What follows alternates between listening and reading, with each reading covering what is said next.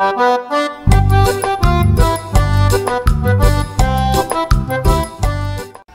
friends this is N K Mishra and you are watching Mishra classes इस video में आप सीख रहे हैं बेसिक इंग्लिश और आज बेसिक इंग्लिश में बहुत ही इंपॉर्टेंट चीज़ को बताने जा रहा हूँ, जो आपके लिए बहुत ही ज़्यादा ज़रूरी है। और वो क्या है? आई एम और आई हैव बीन दोनों का मतलब है मैं हूँ। आई वॉज़ और आई हैड बीन दोनों का मतलब है मैं था। या फिर आई नीड नॉट या फिर आई डोंट नीड में क्या अंतर है? आई डेयर नॉट या फिर आई डोंट डेयर में क्या अंतर है? तो इन सभी, और इसी तरीके से और कई मतलब टोटल टेन स्ट्रक्चर्स बताने जा रहे हैं, जो आपके लिए ज़्यादा ज़रूरी है और सभी डाउटफुल है। मतलब ये कि सभी में कुछ ना कुछ आपको नया सीखने को मिलेगा। बिल्कुल बेसिक है, लेकिन आपके लिए नया होगा।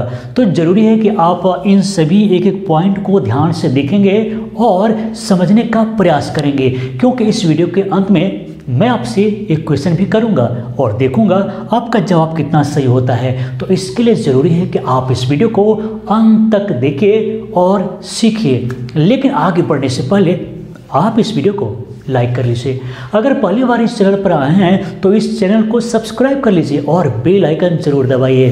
तो चलिए शुरू करते हैं। तो सबसे पहला जो स्ट्रक्चर है, उसे देख लेते हैं और वो है आई एम मिस मैं हूँ। और इसका मतलब ये हुआ स्टेट ऑफ़ बिंग मतलब किसी चीज़ के होने का बोध करा रहा है। जैसे वह ईमानदार है मतलब उसके ईमानदार होने का एक्सप्रेशन है। तो यहाँ पर लिखेंगे, मैं हूँ। और क्या हूँ, वो देख लेते हैं। जैसे आई एम अग्रेसिव मैं आक्रामक हूँ। अग्रेसिव मीन्स होता है जो झगड़ा करने के लिए हमेशा तत्पर हो, जो लड़ने के लिए तत्पर हो, हमेशा तैयार हो।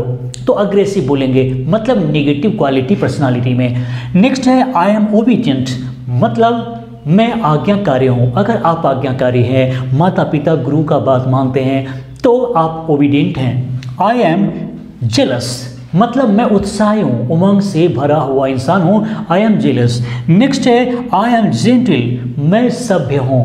मैं बिल्कुल सीधा इंसान हूँ, सीधा साधा हूँ तो आई एम जेंटिल बोल सकते हैं, सभ्य व्यक्ति के लिए जेंटिल का प्रयोग कर सकते हैं। तो आई एम पोलाइट मैं बिल्कुल विनम्र हूँ। बिल्कुल विनम्र। मतलब मैं एक अच्छा इंसान हूँ, शांत स्वभाव का हूँ। उसी प्रकार अब चलते हैं, और इसका मतलब ही है कि मैं हूँ। कैसे होगा, इसका मीनिंग देख लेते हैं। मैं हूँ। लेकिन दोनों के मीनिंग में क्या अंतर है, वो देख लेते हैं। तो I have been ill for two days मैं दो दिनों से बीमार हूँ। अब क्या है, जैसे ही आप हैव बीन का यूज़ करेंगे, इसका मतलब ये हुआ कि पास्ट से कोई कार्य होता आ रहा है। किसी अवस्था का ही बोध हो या कार्य का बोध हो, वर्क का बोध हो, वो पास्ट से ही चलता आ रहा है। इसका मतलब ये हुआ? जैसे I have been absent for a week मैं एक सप्ताह से अनुपस्थित हूँ। मतलब अनुपस्थिति पिछले भूतकाल से ही चलता आ रहा है और अभी भी मैं अनुपस्थित हूँ। तो I have been angry with you मैं आपसे नाराज़ हूँ। और ये नाराज़गी अभी कुछ समय से नहीं, बल्कि पिछले कुछ समय से चलता आ रहा है और मैं आपसे नाराज़ हूँ। I have been worried since Monday और मैं मंडे से वरीड हूँ, चिंतित हूँ, मंडे से चिंतित हूँ। चिंता करने का कार्य पास्ट से चल रहा है। I have been happy since morning और मैं सुबह से खुश हूँ। मतलब मेरी खुशी अभी से नहीं, बल्कि सुबह से है। तो इस कंडीशन में दोनों आप देखेंगे सेम है, लेकिन मीनिंग में अंतर है। तो आई एम हैप्पी मैं खुश हूँ। आई हैव बिन हैप्पी का मतलब मैं अधिक समय से खुश हूँ। यही अंतर हुआ। उसी प्रकार हम पास्ट में देख लेते हैं और अभी कई स्ट्रक्चर्स को देखना है, समझना है। जैसे आई वॉज़ का मतलब है कि मैं था। अब क्या था, वो देखते हैं। तो आई वॉज़ वेरी अट्रैक्टिव मैं बहुत ही आकर्षक था। आई वॉज़ हेजिटेंट मतलब मैं संकोची था। किसी बात में संकोच होता था, कुछ बोलने में संकोच होता था। आई वॉज़ होमलेस का मतलब मेरे पास घर नहीं था। मैं गृह विहीन था, बिना घर का था। तो आई वॉज़ होमलेस अब उसी तरीके से हेडविन में देख लेते हैं कि इसका मतलब ही होगा? मैं था। मैं था। अब क्या था? कैसे था? वो देख लेते हैं। जैसे I had been concern since morning मैं सवेरे से चिंतित था। मैं सुबह से चिंतित था। I had been busy for some days मैं कुछ दिनों से व्यस्त था। मैं कुछ दिनों से व्यस्त था। और इसका मतलब ये हुआ कि पास्ट में कोई कार्य या कोई अवस्था, कोई स्टेट ऑफ़ बीइंग बहुत समय से था। मान लीजिए मैं उदास था तो लंबे समय से उदास था। जैसे आई वॉज़ सैड तो मैं उदास था और आई हैड बिन सैड मतलब पास्ट में बहुत समय तक मैं उदास रहा था। उसी प्रकार से हम देखेंगे I had been agree with him मैं उसके बात से सहमत था, लेकिन ये सहमति भी बहुत समय तक बना रहा। तो इस कंडीशन में आप हैड बीन का यूज़ करेंगे। अब उसी तरह आगे देखेंगे आई नीड नॉट फिर I do I don't need का प्रयोग कैसे होगा? तो नीड का प्रयोग आप यूज़ कर सकते हैं रिक्वायरमेंट के लिए, यानी कि ज़रूरत है ज़रूरत है या फिर चाहिए। कोई सामान चाहिए कि तो उसमें आप नीड का प्रयोग कर सकते हैं, जैसे I need I need not do this work मुझे यह काम करने की ज़रूरत नहीं है। तो एक बात याद रखेंगे तो आपको दिमाग में रखना पड़ेगा, यहाँ पर नीड मॉडल वर्ब्स की तरह यूज़ किया गया है, और मॉडल वर्ब्स में वी वन का प्रयोग किया जाता है बेयर इन्फिनेटिव का यूज़ किया जाता है, उसमें टू का प्रयोग नहीं करेंगे। जब हम नेट का प्रयोग मॉडल की तरह करेंगे तो उसमें टू का प्रयोग नहीं होगा, क्योंकि उसमें बेयर इन्फिनेटिव का यूज़ होता है विदाउट टू वर्क को बेयर इन्फिनेटिव कहते हैं।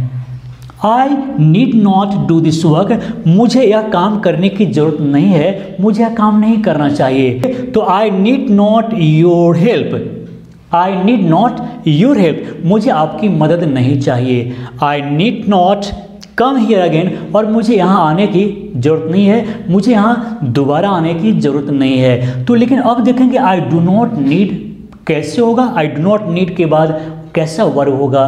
क्या करना होगा? ये सब देख लेते हैं। तो चलिए और इसे भी देख लेते हैं। इसमें है I don't need I don't need में यहाँ पर नीड का प्रयोग मेन वर्ब के रूप में हुआ है। जैसे आप देखते हैं go play read sit eat उसी प्रकार यहाँ पर नीड का प्रयोग किया गया है। तो अब इसके साथ कंडीशन क्या होगा? यहाँ पर नीड के बाद इन्फिनेटिव का यूज़ करना पड़ेगा। मतलब उसके साथ अगर हम किसी वर्ब का यूज़ करते हैं तो टू का प्रयोग भी करना होगा। अगर वर्ब का प्रयोग नहीं करना है तो फिर टू का कोई ज़रूरत नहीं। तो हम देखते हैं यहाँ पर मुझे ज़रूरत नहीं है, मुझे ज़रूरत नहीं है।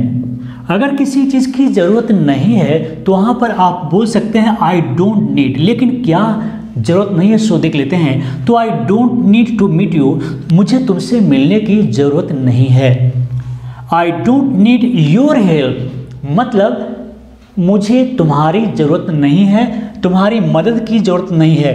तो आप देखेंगे, यहाँ पर मीट वर्ब है और इसीलिए इसके साथ में टू का प्रयोग किया गया है। याद रखेंगे I don't need anything from you और मुझे तुमसे कुछ नहीं चाहिए। यहाँ पर टू का प्रयोग नहीं हुआ क्योंकि वर्ब नहीं है यहाँ पर। I don't need to come daily और मुझे रोज़ आने की ज़रूरत नहीं है। I don't need to buy a mobile और मुझे मोबाइल खरीदने की ज़रूरत नहीं है। तो आप देखेंगे कि वर्ब का प्रयोग करेंगे इसके साथ में आई डोंट नीड के साथ में तो इन्फिनेटिव मतलब टू तो लगाना ही पड़ेगा। नेक्स्ट है आई डेयर नॉट यहाँ पर भी इस रूल को फॉलो करना होगा। तो आई डेयर नॉट मीन्स होता है, साहस नहीं है। अगर किसी को या मुझे किसी कार्य को करने की साहस नहीं है तो आई डोंट डेयर ज़रूर बोलेंगे। तो I don't dare touch him मुझे उसे छूने का हिम्मत नहीं है। मुझे उसे छूने का साहस नहीं है। I don't dare to scold him और मुझे उसे डांटने का हिम्मत नहीं है। I don't dare harm anybody मुझे किसी को हार्म यानी हानि पहुँचाने की शक्ति नहीं है। ताकत मतलब यहाँ पर हिम्मत नहीं है, साहस नहीं है। I don't dare face any face the difficulties और मुझे यह समस्या का सामना करने का साहस नहीं है। I don't dare do this again मुझे इस कार्य को या इसे दोबारा करने का साहस नहीं है, हिम्मत नहीं है। लेकिन आप, फिर आपको मैं बतलाऊँगा कि यहाँ पर डेयर का प्रयोग हेल्पिंग वर्क की तरह किया गया है मॉडल वर्क की तरह किया गया है और इसकी, इस वजह से इसके साथ में बेयर इन्फिनेटिव का प्रयोग होगा। बेयर इन्फिनेटिव मीन्स होता है without to verb bare infinitive means होगा विदाउट टू वर्ब तो यहाँ पर टू का प्रयोग नहीं किया गया है। लेकिन अब डेयर का प्रयोग हम टेंस की तरह करते हैं, जैसे मेन वर्ब की तरह करते हैं, जैसे आई डोंट डेयर इसका मतलब है मुझे साहस नहीं है, उसी प्रकार से हुआ, साहस नहीं है। लिख देते हैं, साहस नहीं है। लेकिन अंतर क्या है कि इसके साथ में हम इन्फिनेटिव का प्रयोग करेंगे मतलब टू लगाना ज़रूरी है। तो I don't dare to kill a snake मुझे सांप को मारने का हिम्मत नहीं है। I don't dare to jump off the roof मुझे छत से कूदने का हिम्मत नहीं है। I don't dare to commit this mistake again और मुझे इस गलती को दोहराने का हिम्मत नहीं है। तो आप समझ चुके हैं कि डेयर का प्रयोग मॉडल की तरह भी करेंगे और टेंस की तरह। तो चलिए अब कुछ अलग चलते हैं, थोड़ा सा अलग चलते हैं। तो आई अलाउ यू टू अगर आप किसी को कोई काम करने का आदेश देते हैं, अपने जूनियर को किसी कार्य को करने का आदेश देते हैं तो आप बोल सकते हैं आई अलाउ यू और उसमें टू का प्रयोग हम करेंगे। अलाउ यू के बाद में इन्फिनेटिव आएगा तो याद रखेंगे टू का प्रयोग करना ज़रूरी है तो I allow you to go on leave मैं तुम्हें छुट्टी पर जाने का आदेश देता हूँ। तो आदेश देना आदेश देना लिख सकते हैं तो I allow you to go on leave मैं तुम्हें छुट्टी पर जाने का आदेश देता हूँ। I allow you to come here daily और मैं तुम्हें यहाँ रोज़ आने का आदेश देता हूँ। I allow you to stay outside और मैं तुम्हें बाहर ठहरने का आदेश देता हूँ। तो कोई आदेश आप देते हैं तो आप यहाँ पर आप आई अलाउ यू टू और उसके बाद कोई वर्ड का यूज़ कर सकते हैं। उसी प्रकार यहाँ पर आई परसुएडेड हीम और फिर उसके बाद इन्फिनेटिव का प्रयोग करना है। तो परसुएडेड यहाँ पर क्या होगा? मना लिया। मना लिया। अगर आप किसी व्यक्ति को कोई कार्य करने के लिए मना लेते हैं तो वहाँ पर परसुएड का प्रयोग करेंगे। तो I persuaded him to do this work मैंने उसे इस काम को करने के लिए मना लिया। I persuaded him to go with me मैंने उसे अपने साथ चलने के लिए मना लिया। I persuaded him to give me some money और मैंने उसे, मुझे कुछ पैसे देने के लिए मना लिया। तो आप समझ चुके हैं कि टोटल टेन स्ट्रक्चर्स आपके लिए कितना ज़रूरी है। लेकिन समय है आपसे एक सवाल करने की। और देखते हैं आपका जवाब कितना सही होता है। तो आज का सवाल है, मैं सुबह से बहुत खुश हूँ। मैं सुबह से बहुत खुश हूँ मतलब मॉर्निंग से मैं बहुत खुश हूँ भाई। तो आप इसे इंग्लिश में कैसे लिखेंगे? देखते हैं एम का प्रयोग करते हैं या फिर कोई दूसरे रूल को किसी दूसरे स्ट्रक्चर का यूज़ करते हैं, मैं ये भी देख लेता हूँ। तो चलिए अभी कमेंट बॉक्स में लिखिए और देखते हैं आपका जवाब कितना सही होता है। तो चलिए दोस्तों, इस वीडियो को देखने के लिए लाइक करने के लिए और शेयर करने के लिए आप सभी को बहुत बहुत धन्यवाद।